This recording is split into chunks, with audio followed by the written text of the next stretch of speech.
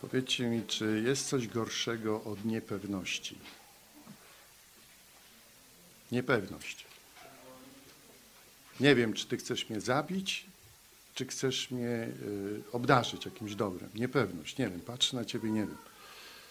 Czy jest coś gorsze od niepewności? Niepewności człowieka, niepewności Boga. Ilu ludzi jest niepewnych Boga, niepewnych tego, czy naprawdę to, co On powiedział, jest prawdą. Jaka straszna rzecz jest w życiu człowieka być niepewnym Boga. Czy ja żyję prawidłowo, czy to, co robię, to Bogu się podoba, a może się nie podoba. Skąd mogę wiedzieć, czy to się Bogu podoba? Bóg rozwiązał problem niepewności. W sposób najbardziej pokazujący nam, że wszystko to, co mówi do mnie i do Ciebie jest prawdą.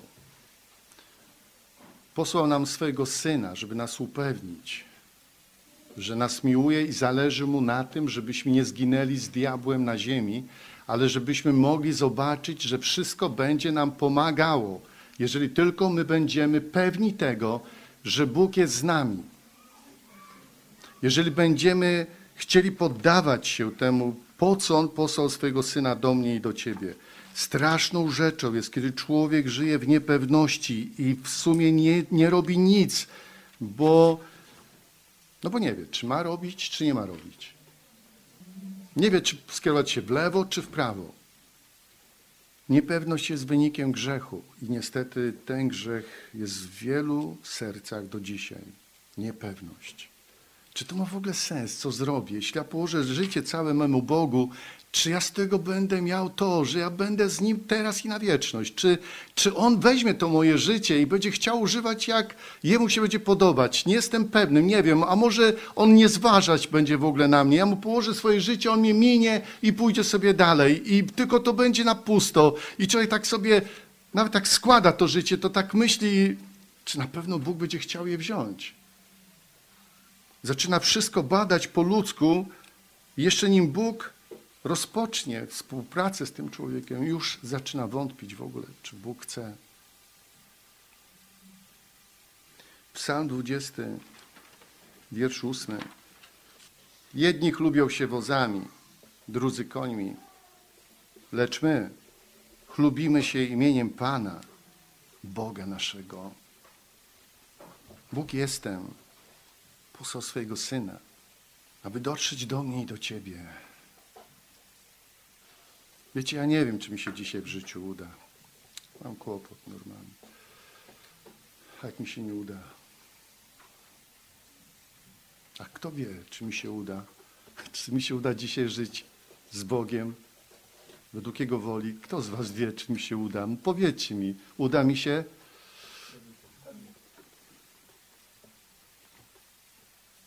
Ten temat już został zamknięty. W Chrystusie wszystko już jest powodzeniem. Tam nie ma niepowodzenia. Nie mam się co pytać o to, uda mi się. A tobie się uda. Wierzysz w to, że tobie się uda dzisiaj? A kto to wie, bracie? No nikt nie wie. Kto wie w końcu, czy nam się powiedzie i czy my będziemy w wieczności? Kto wie? No, no kto wie? Apostołowie mówili, my już jesteśmy tam a żyli jeszcze na ziemi, się uczyli Boga. Niepewność jest powodem wielu smutków niepotrzebnych, wielu utrapień niepotrzebnych, wielu braku radości w rozmowie z Ojcem.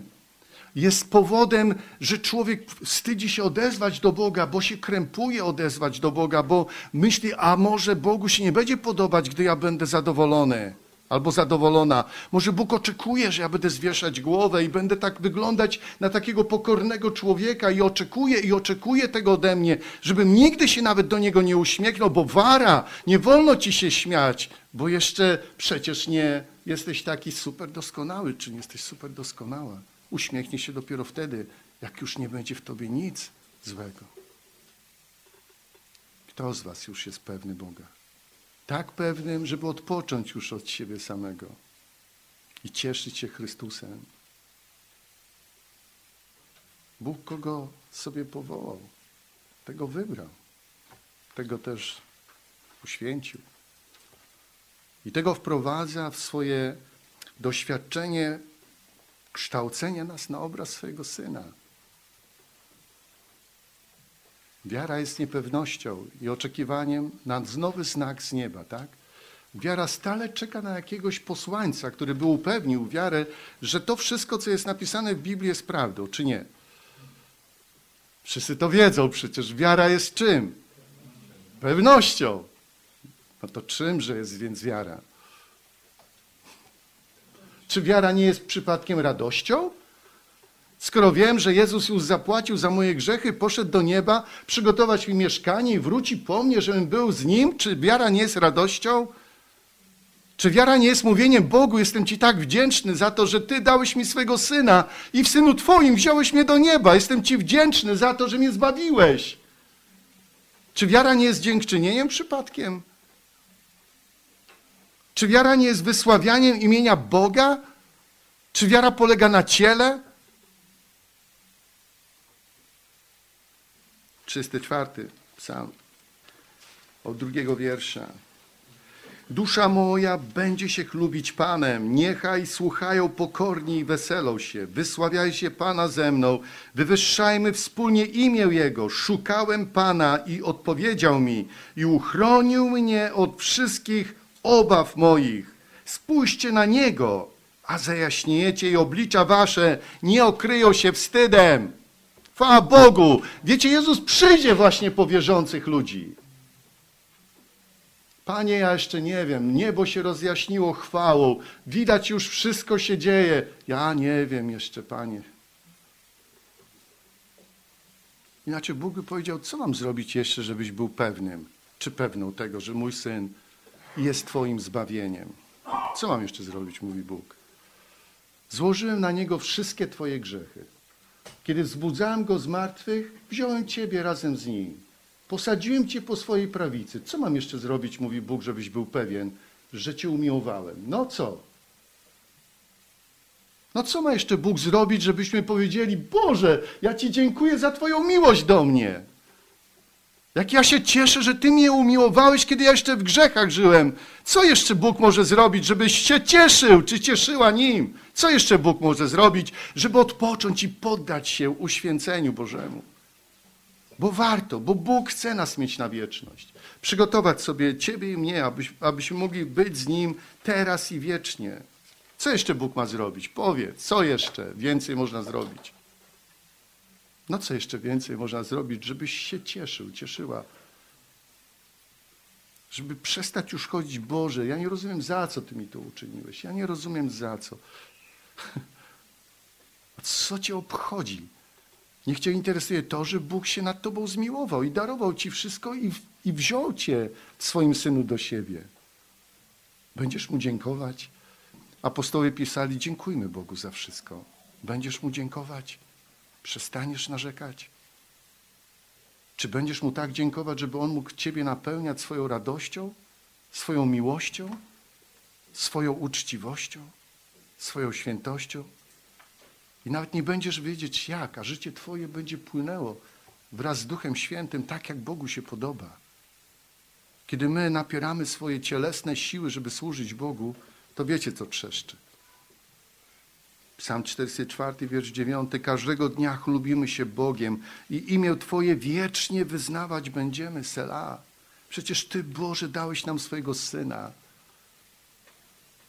Jakiego Syna? Doskonałego Syna nam dałeś. 63 psalm, 12 wiersz. Lecz król będzie się radował w Bogu, będzie się chlubił każdy, kto przysięga na Niego, bo usta kłamców będą zamknięte. I 64, 11. Sprawiedliwy rozraduje się w Panu i będzie szukał u Niego schronienia i będą się chlubić wszyscy prawego serca. Będziemy się chlubić Bogiem, nie koniami, nie wozami, nie ludzkimi możliwościami, ale Bogiem, który daje nam to wszystko ku używaniu z radością i wdzięcznością dla Niego. Znamy te wszystkie miejsca z Biblii. Kto wie, co jest napisane w Jeremiasza 9 rozdziale, 23 wierszu? Kto nie wie? Może inaczej się spytam. Kto nie wie, co jest tam napisane? Nie wiesz? No to otwieraj, zobacz. Kto się chce chlubić? Niech się chlubi tym, że wie o mnie. A co taki, co taki człowiek może wiedzieć? Że wie o mnie. Co taki człowiek wie o Bogu, że się zaczyna chlubić Bogiem? Że jaki jest Bóg? Miłosierny, pilnujący prawo i sprawiedliwości na ziemi, gdyż w nich ma upodobanie. Nasz Bóg jest sprawiedliwy, pilnuje swojego prawa. A swoje prawo ustanowił, kiedy posłał Syna. W Nim zbawienia będą doznawały wszystkie narody. Kto się chce chlubić, niech się chlubi w Panu. W Jezusie Chrystusie, który stał się dla nas mądrością, sprawiedliwością, pokojem z Bogiem, usprawiedliwieniem, drogą do wieczności, wszystkim we wszystkim. Jest nareszcie ktoś, kogo mogę być pewnym. On na pewno mnie miłuje. Mogę być niepewnym co do ludzi, ale co do Pana Jezusa jestem 100% pewnym, że mnie miłuje. Krzyż udowodnił tą miłość najmocniej. Abym był wolny, On wszedł doświadczenie rozdzielenia z Ojcem. Aby Ciebie uwolnić, aby tam przybity zostały cały nas list dłużny. On tam poszedł, aby dać nam wolność, swobodę, szczęście i zadowolenie. Paweł pisze w liście do Rzymian, chlubimy się nadzieją chwały. Chlubimy się. Z czego będziesz się chlubił, bracie, siostro? Kim jest ten Pan? Co On dla Ciebie uczynił? To trzeba wiedzieć. Bo człowiek, który nie poznaje Boga, ten człowiek w pewnym momencie nie rozumie, a, z czego ja mam się chlubić? Przecież mam same kłopoty tylko życiowe. Właśnie, że w tych kłopotach nie jesteś nigdy sam, czy sama. Kto rozumny, niech się chlubi. Kto to rozumie, niech się chlubi. Niech nie marnuje czasu, niech się chlubi. Niech nie pozwoli, żeby diabeł zamknął usta. Niech się chlubi Panem. Tym, co Pan dla niego czyni, czy dla niej. Później Paweł pisze, chlubimy się z pojednania z Bogiem w Chrystusie Jezusie. Chlubimy się, że Bóg pojednał nas z sobą w Chrystusie Jezusie. To jest naprawdę wspaniałe. Bóg nas z sobą pojednał. Nie byliśmy godni tego nawet. A On przyszedł i powiedział przez swego Syna do wszystkich narodów. Idźcie i głoście Ewangelię pojednania. Że Bóg nas, Ciebie i mnie w Chrystusie z sobą pojednał. Kiedy nas jeszcze nie było, Bóg miał wszystkie nasze grzechy policzone i one tam zostały złożone na Syna. Abyś nie miał wątpliwości nawet, że Bóg ci przebacza. Chwała Bogu. Bóg przebacza. Jak przebacza Izajasz już mówił, nigdy więcej nie wspomnę tego. To jest dopiero Bóg. Paweł pisze Chlubmy się obrzezaniem serc naszych, że nie są to już stare serca. Chlubmy się miłością, świętością, wszystkim, kim Chrystus jest. I chciałbym mówić o pewnej rzeczy dzisiaj, e, tak cennej dla mnie i dla Ciebie, którą Wróg wykrada stale wierzącym ludziom, dlatego żeby oni nie mieli z tego powodu radości. Żeby oni dalej próbowali po swojemu dojść do tego, co Bóg już osiągnął w Chrystusie Jezusie. I wtedy człowiek zaczyna doznawać, że nie radzi sobie, bo nie może sobie poradzić, bo to już zostało załatwione w Chrystusie Jezusie.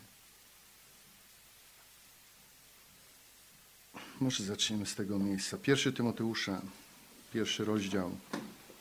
Zobaczcie, co apostoł Paweł tu mówi, trzeci, czwarty wiersz.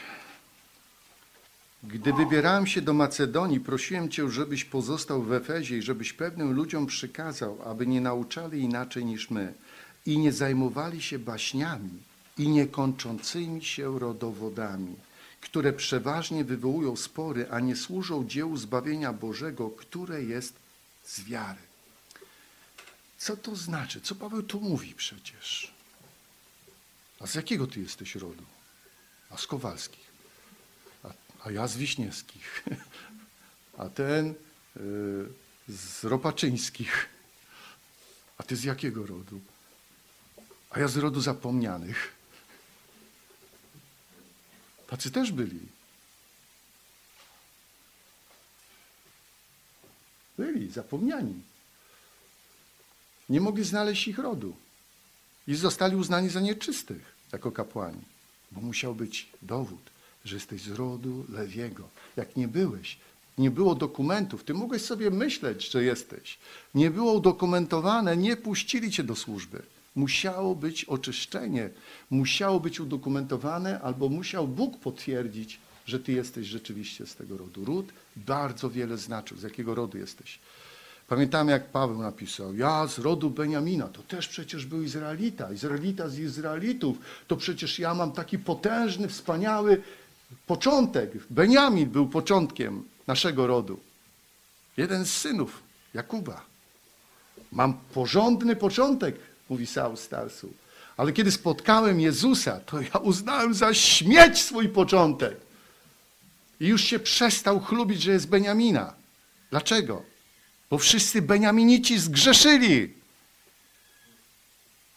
On też. Ale jest jeden, który nie zgrzeszył. Jezus Chrystus. A więc Paweł mówi, oni gadają o tych rodowodach i gadają. Oni nie rozumieją w ogóle, co się stało. Żaden ród już nie ma znaczenia. Już nieważne, czy się urodziłeś u Wiśniewskich, Kowalskich, czy Rozpaczyńskich, czy, czy Smutnych, czy Zawiłych, czy jakich. Już nie ma znaczenia. Dlaczego nie ma znaczenia? Kto zna pewną odpowiedź, dlaczego nie ma znaczenia? Bo wszystkie rody umarły na krzyżu w Chrystusie Jezusie. Nie ma znaczenia już to. Wszyscy umarliśmy. Gdyby Bóg tylko zakończył na śmierci, znaczyłoby, że zakończył sprawę z wszystkimi rodowodami. Ale Bóg robi coś więcej. Rozpoczyna następny ród. Ród wiecznych dzieci Boga. Dlatego te wszystkie rodowody ziemskie nie mają znaczenia. Skąd ty jesteś? Z Afryki, a ty z Ameryki, a ty skądś tam, a moje tam korzenie, a miałem takiego bogatego wujka, ty głupcze. Co ten twój wujek ci da, jak on grzeszył? Uwierz w Jezusa, Chrystusa. Tam wszystko na krzyżu się skończyło. Nieważne, ile ty tam niesiesz ze sobą skarbów. Ten młodzieniec miał skarby po swoim rodowodzie i co? Odszedł od Jezusa smutny, bo Jezus powiedział, zostaw to. Jest coś cenniejszego od tego wszystkiego. Ten, który będzie w Jezusie Chrystusie, ten jest bogatym we wszystko, co ma znaczenie. Teraz i na wieczność. A więc czy myśmy już umarli? Jezus miłuje tych, którzy do tego samego przekonania doszli, że skoro On umarł i myśmy umarli, czy myśmy już umarli w ten sposób? Jasne, będziemy pomagać fizycznie komuś w tym, ale my już jesteśmy nie z tego rodu. Jak się więc zachowuje ród, który nie ma cielesnego początku? Paweł napisał w ten sposób. Pierwszy Adam jest ciałem. Drugi Adam jest, jest duchem ożywiającym. Pierwszym Adamie zaczęło się cielesne, w drugim duchowe życie Bożych ludzi. Żyjemy w takim ciele, jakim został stworzony Adam, ale w tym ciele nie wejdziemy do wieczności. Nawet tam wchodząc otrzymamy ciało, nie Adamowe, tylko Chrystusowe. A więc wszystko jest pokazaniem tutaj, ciesz się w Panu zawsze. Przestań smęcić i chodzić koło siebie i myśleć sobie, no jakie ty tam miałeś geologiczne początki, czy ty miałeś w tym swoim rodowodzie jakichś królów może, a może, a może? Co to ma za znaczenie? Wszyscy umarli. A więc Paweł mówi, oni nie wiedzą nawet o czym mówią już. Oni nie mają pojęcia, że to się wszystko skończyło. Oni dalej dyskutują, a ty z jakiego rodu jesteś? A my z lepszego jesteśmy rodu. U nas było więcej takich, a u ciebie było mniej, a więc my jesteśmy lepsi. Rozumiecie? Te spory są bez znaczenia. Paweł mówi, oni nawet nie rozumieją, o czym mówią. A czy my rozumiemy? O czym mówimy? To jest bardzo ważne, żebyśmy mogli to zrozumieć. Żebyśmy to pojęli. Dzieje apostolskie, 13 rozdział. Zobaczmy. 13 rozdział 32 wiersza. I my zwiastujemy wam dobrą nowinę, tę obietnicę, którą dał ojcom. Wypełnił teraz Bóg dzieciom ich przez wzbudzenie nam Jezusa, jak to napisano w psalmie drugim. Synem moim jesteś, dzisiaj cię zrodziłem a że go zbudził z martwych, aby już nigdy nie uległ skażeniu, powiedział to tak: Dał wam święte rzeczy Dawidowe, rzeczy pewne. Dlatego i na innym miejscu mówi: Nie dopuścisz, by święty twój oglądał skażenie. Nad nami śmierć już nie ma władzy nad dziećmi Boga w Jezusie Chrystusie. Czy masz pewność, że jesteś dzieckiem Boga? Skąd masz tą pewność? Dlatego, że Chrystus daje nam pewność, że jesteśmy dziećmi Boga, a dzieci Boga chcą pełnić wolę Ojca. Jezus mówi: Wy jesteście moimi braćmi, siostrami, matką, którzy pełnicie wolę Ojca. Mojego Ojca, mówi Jezus, który jest też Waszym Ojcem. Dzieciom Bożym chce się pełnić wolę Ojca, one, one lgną do woli Ojca, ponieważ ta wola Ojca im jest przyjemna, bo przyjemna jest Jego Synowi. Nie wolno dusić prawdy, bo jeśli będziemy zasypywać prawdę, to po pewnym czasie będziemy patrzeć na te wspaniałe Boże Słowo i nie będziemy rozumieli, co ono nam przyniosło. Będziemy mówić o wolności, narzekając i jęcząc jak Izraelici w Egipcie. Oto w chwili, kiedy Bóg zbudził Chrystusa, powstał nowy ród. Ród, który nigdy nie umrze, nigdy nie będzie oglądał skażenia. To są wszyscy ci, którzy przyjęli Jezusa Chrystusa, przyjęli, uwierzyli Mu w to, co On do nas powiedział. A kto Go przyjmie, będzie miał prawo, będzie miał moc być dzieckiem Boga, który nie rodzi się z ciała, ale z ducha. Jest nowym stworzeniem. Patrzmy to, co było czytane z tego pierwszego, yy, drugiego Koryntian. I tu mamy piąty rozdział od szesnastego wiersza. Dlatego już odtąd nikogo nie znamy według ciała. Jeśli znaliśmy Chrystusa według ciała, to teraz już nie znamy. Tak więc jeśli ktoś jest w Chrystusie, nowym jest stworzeniem. Stare przeminęło. Oto wszystko stało się nowe. A wszystko to jest z Boga, który nas pojednał z sobą przez Chrystusa i poruczył nam służbę pojednania. Widzicie, wiara to jest jak mówiliśmy, to są drzwi, które otwierają przed nami to, co jest niewidzialne dla ciała. I zaczynamy kosztować z tego, że Bóg daje mi dzisiaj prawo bycia Jego dzieckiem. A jako Jego dziecko jestem, to On dba o mnie, żebym rósł wzrostem zgodnym z Jego zamysłem, Jego pragnieniem. A jeśli będę brykać, to mi da klapa takiego, że będę wiedział, że to mi dał Bóg. Żebym więcej nie brykał, ale się cieszył z tego, co mam w Synu Jego. Bo kogo Bóg miłuje, tego, tego przywołuje do porządku. Jak będziesz chodził ze zwieszoną głową, bez powodu, nie będziesz mieć żadnego kłopotu i problemu, ale twoim problemem będzie twój problem, którego nie masz, to Bóg ci da takiego klapa, że do, zobaczysz wtedy, dlaczego dostajesz wtedy. Bo to jest obrzydliwe, kiedy dziecko Boże chodzi w taki sposób, jakby to było dla niego wielkim utrapieniem być dzieckiem Bożym. Są doświadczenia, w których możesz mieć smutek, możesz mieć doświadczenie. Bóg cię pocieszy i wzmocni, ale kiedy chodzisz bez przyczyny i, i zachowujesz się tak, jakby to było dla ciebie wielkim problemem i utrudzeniem bycie dzieckiem Bożym, to jest naprawdę przykre. A więc mamy to, że żadne rodowody się już nie liczą. Żadne. Mamy być dla siebie braćmi, siostrami, bo mamy jednego Ojca, tego w niebie jako Jego dzieci mamy nawzajem się miłować, darzyć dobrem, budować, wspierać, pomagać, czynić to, co potrzebne. Też w liście do Tytusa, w trzecim rozdziale, Każdy zdaje sobie sprawę z tego, że nie mamy prawa się nie cieszyć. Gdy dostaliśmy taki skarb w Jezusie, nie mamy prawa zachowywać się tak, jakbyśmy mieli kłopot teraz wielki. Co my mamy z tym skarbem zrobić? Nie wiesz, co robić? Dawaj go wszystkim. Nie zabraknie ci nigdy. Udzielaj wszystkim to, co najlepsze. Miłuj, raduj się, odwiedzaj, wspieraj, pomagaj, śpiewaj. Dziękuj Bogu. Zawsze bądź jak skowronek na wiosnę. Przynajmniej. Bo niedługo wróci Pan. Niech wszyscy widzą, że Ty wierzysz, że jesteś dzieckiem Boga. Wszechmogącego Boga, Stwórcy nieba i ziemi. Są chwile, że nieraz może być to przez łzy, ale nigdy nie będzie to tak, że stracisz radość, Pan.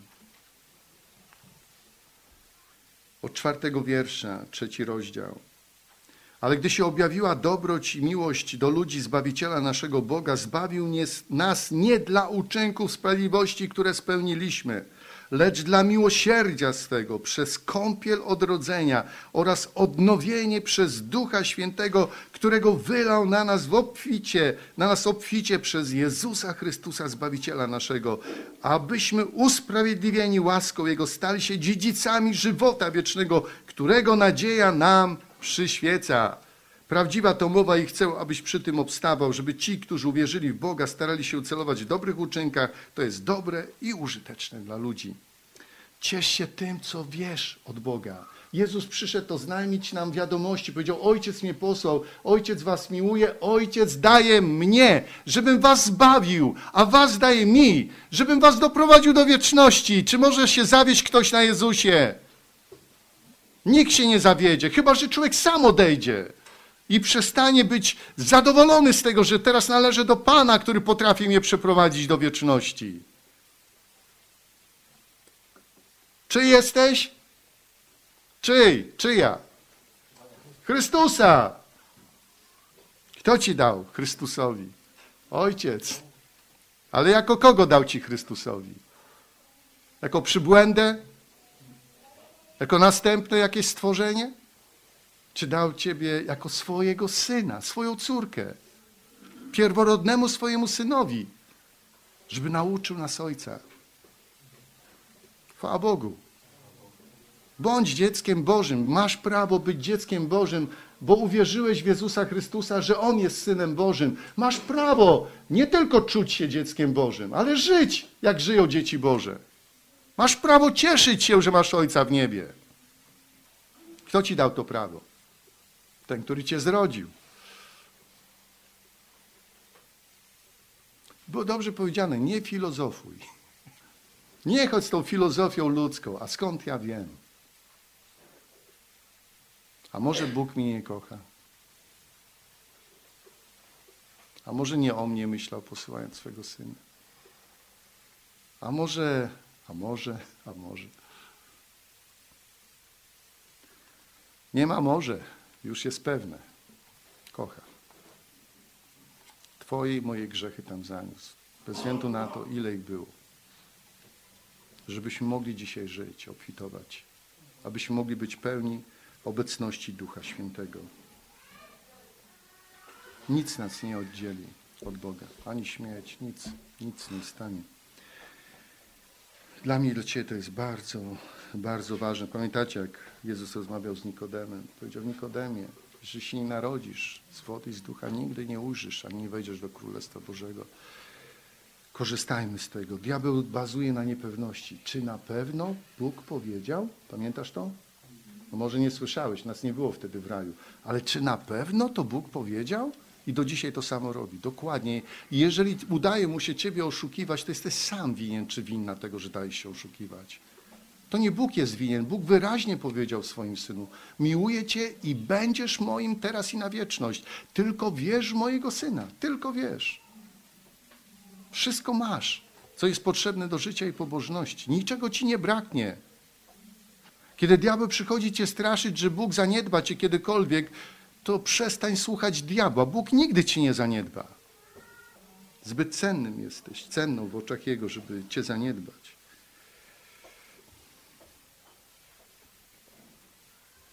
List do Efezjan, pierwszy rozdział.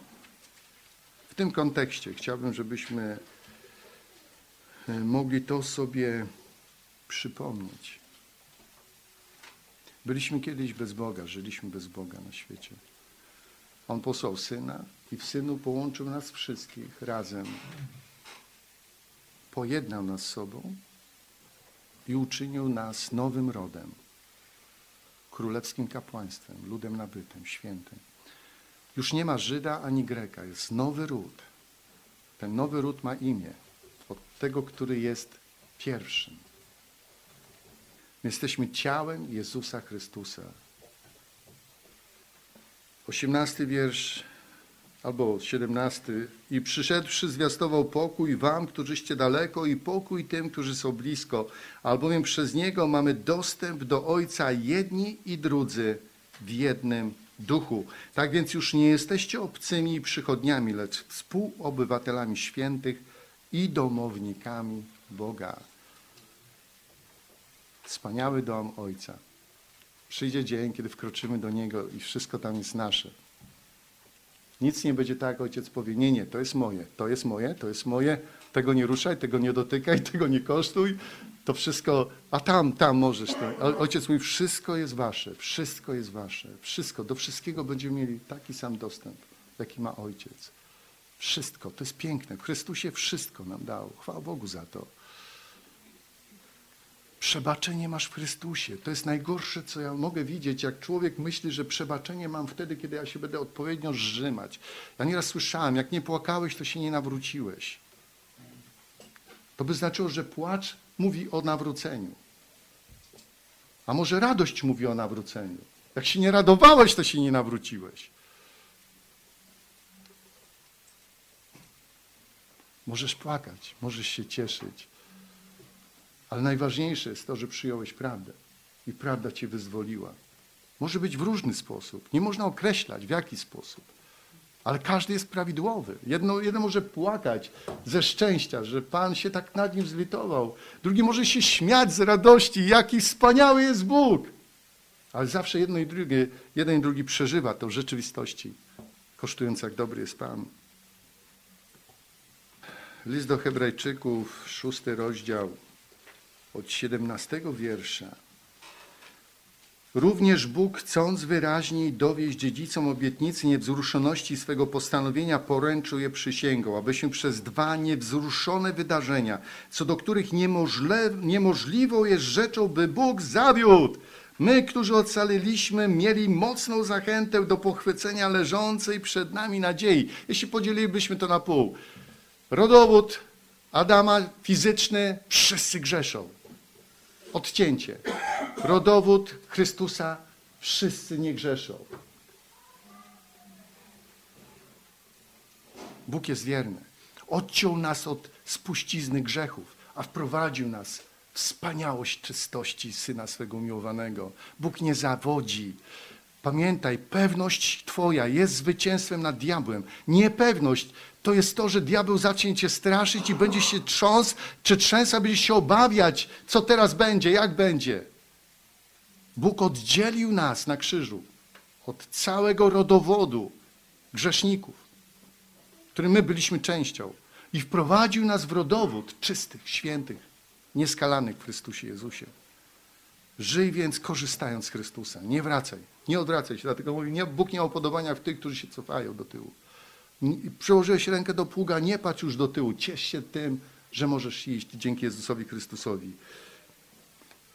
I co dalej mamy? Jej to trzymamy się jako kotwicy duszy pewnej i mocnej, sięgającej aż poza zasłonę, gdzie jako poprzednik wszedł za nas Jezus, stawszy się arcykapłanem według porządku Melchizedeka na wieki.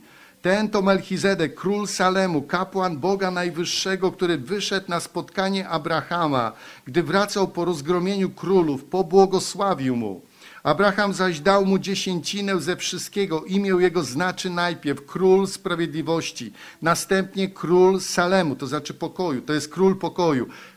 I zobaczcie teraz, bez ojca, bez matki, bez rodowodu, nie mający ani początku dni, ani końca życia, lecz podobny do Syna Bożego pozostaje kapłanem na zawsze. Nie ma rodowodu. Nie ma ziemskiego rodowodu. Jest kapłan. Jest napisane, bo Bóg go ustanowił kapłan. A w nim ciebie i mnie. To Jezus wyszedł naprzeciw. Masz 50 lat? Abrahama widziałeś? No tak, rozmawiał przecież z nim. Abraham dał mu dziesięcinę ze wszystkiego. Jeszcze nie był wtedy w ciele, takim jak przyszedł, jak się urodził, ale już się pokazywał na ziemi. Podobny do Syna Bożego. Jezus jest na podobieństwo tego kapłaństwa. Nie ma rodowodu już ziemskiego. To jest piękne. Wiecie, z jakiego rodu jesteś? Z Bożego. A gdzie twoje korzenie? W niebie.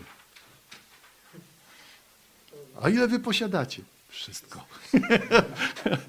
czy jest ktoś bogatszy, czy ktoś ma coś więcej, czy ktoś może się cieszyć wiecznością? Urodziłem się z Wiśniewskich, mam życie wieczne. Nie, Wiśniewscy nie dali mi życia wiecznego. Czy nie jestem Wiśniewskim, ale gdybym był Wiśniewski, Wiśniewscy nie dali mi życia wiecznego, ale Jezus Chrystus daje mi życie wieczne, więc z tego rodu mamy życie. Kto ma Jezusa? Ma? Ma życie. A kto ma Wiśniewskiego, co ma? Nazwisko, którym niesie się spuścizna grzechów, nic więcej. Nic nie ma więcej. A więc nie klub się swoim nazwiskiem. Możesz się nazywać Bryła albo Kanciasty, a być tak radosny, szczęśliwy i wdzięczny, to ziemski i tak przeminie, bo masz imię, które Bóg ci dał. Ono będzie zapisane na białym kamieniu i dostaniesz je, kiedy już stawimy się przed Bogiem. I to jest piękne, że możemy Go poznawać i cieszyć się Nim, radować Nim, a więc ten nie ma rodu, a jest kapłanem Boga. Nie ma rodu. Dzieje apostolskie, 17 rozdział. Te słowa apostoła Pawła, jak to Bóg mówił przez ludzi w różny sposób, docierając, próbując dotrzeć do ludzi, żeby oni zaczęli zastanawiać się, myśleć. 28-29 wiersz. Albowiem w nim żyjemy i poruszamy się. Jesteśmy jako, jak to i niektórzy z waszych poetów powiedzieli, z jego bowiem rodu jesteśmy. Będąc więc z rodu Bożego, nie powinniśmy sądzić, że bóstwo jest podobne do złota albo srebra, albo do kamienia wytworu sztuki i ludzkiego umysłu. A więc będąc z rodu Boga, nie powinniśmy nawet sobie myśleć, że Bóg może być jak kamień, jak drewno, jak metal jakiś po prostu. Bóg jest żywy, jest prawdziwy i my mamy życie od Boga. Dostaliśmy wieczne życie w Chrystusie Jezusie. Radujmy się Nim, nigdy nie pozwólmy, żeby ktoś nas okradł z tego. Nigdy nie czuj się nie dzieckiem Bożym. Nigdy. Chyba, że chodzisz w grzechu uparcie i sobie nie chcesz się upamiętać, to wtedy Bóg mówi, chociaż nazywasz się synem, zginiesz. Ale jeśli chcesz żyć z Bogiem i gdyby coś się nie powiodło, przepraszam, przepraszasz w imieniu Jezusa, przyjmujesz przebaczenie jako dziecko. I biegniesz dalej, szczęśliwym będąc. Jeżeli coś trzeba usunąć, usunąć, usuniesz to, co się połączyło z tym, bo jesteś dzieckiem Bożym. Jesteś wdzięcznym Bogu. Nigdy nie czuj się jak przybłęda chrześcijańska. Słowo Boże jesteśmy domownikami Boga. Masz prawo czerpać od Ojca i to łaskę za łaską. Masz prawo, ja mam prawo. To nie jest, że musimy wyżebrać o Ojca, żeby dał nam trochę łaski dzisiaj. Trochę radości, Boże. No daj mi trochę radości. Bym, no bym chciał być trochę... Masz dostęp do całej radości. Jezus mówi, aby moja radość była w was. Miłuj brata, miłuj siostrę, bądź razem, budujcie się nawzajem, pięknie, a radość jak rzeka będzie płynąć przez twoje serce. Bo Pan mówi, miłujcie się nawzajem. To będzie teraz znak dla innych, że ja tu byłem, że przechadzałem się między wami. W wielu miejscach jest Jezus zrodzony, Adam stworzony. A więc zrodzenie jest tylko w Jezusie Chrystusie. Chlubmy się. Paweł mówi, ja będę się chlubił z krzyża Chrystusowego, na którym ja umarłem dla świata, a świat umarł dla mnie skończyło się. Rodowód grzechu, śmierć na krzyżu. Teraz dzieje, dzisiaj żyje nie ja, mówi, lecz żyje we mnie Chrystus. Cieszmy się z tego, bądźmy prawdziwymi wyznawcami Chrystusa. Niech nie będzie między nami niewierzących. Wierzmy w to, bo to jest prawda. Co to więc jest wiara? Wiara jest pewnością. Wiara przyjmuje to, co mówi Bóg, bo wierzy Bogu. Kochaj Go, ciesz się Nim, ponieważ On kocha Ciebie. Nie jest Mu przyjemnie, gdy zachowujesz się tak, jakby On nie powiedział Ci tego, co powiedział, jakby Bóg nie dotrzymywał swoich obietnic. Raduj się Nim, raduj się Jego prawdomównością. Odpoczywaj w Panu Jezusie Chrystusie. To jest najlepsze, co mogło nas spotkać. Odpocznienie od dzieł naszych. Amen.